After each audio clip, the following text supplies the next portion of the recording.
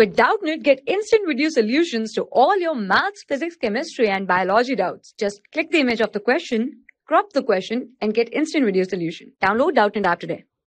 Hello everyone, consider the given question. Draw the structure of the following compounds. So the given compound is 3-bromo 4-phenyl pentanoic acid. Pentanoic acid, it means it carbon has the, sorry, parent chain has the 5 carbon because here pent is given in the in the given compound.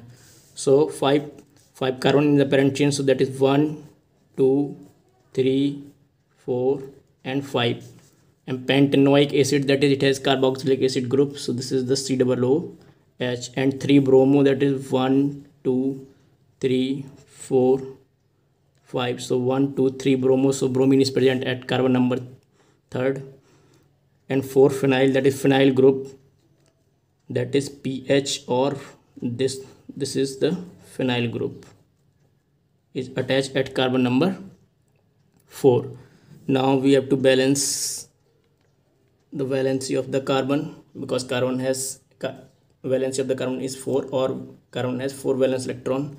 So this is the ch3 now it becomes ch so 1 2 3 4 there will be also h and there will be ch2 so now this is the required structure of the 3 bromo that is 3 bromo 4 phenyl pentanoic acid oic acid it means it has carboxylic acid group so this is the required structure of the given compound thank you For class 6 to 12, IIT JEE and NEET level. Trusted by more than 5 crore students. Download Doubtnut app today.